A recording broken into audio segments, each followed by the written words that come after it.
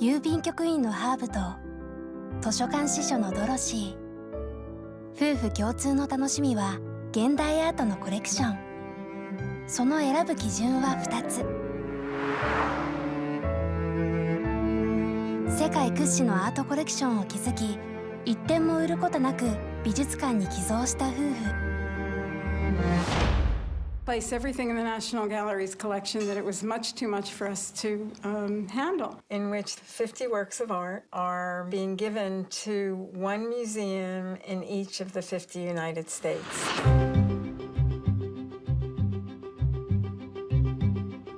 Where are they going to go? They're going to go to Montana. Montana is very lucky to get them.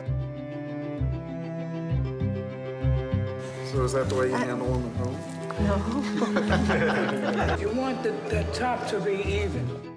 Aloha, and I hope you enjoy this Vogel exhibit. I think I'll perhaps appreciate contemporary art a little bit more than I have in the past. Uh, especially that work going into all those museums. Yeah. But then there's like this uh, reappearance, what you've made possible for me. It's great. Thanks.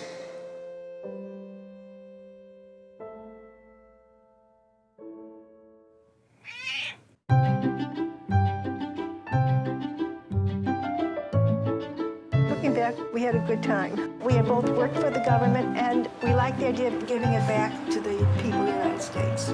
What we did then is now our history.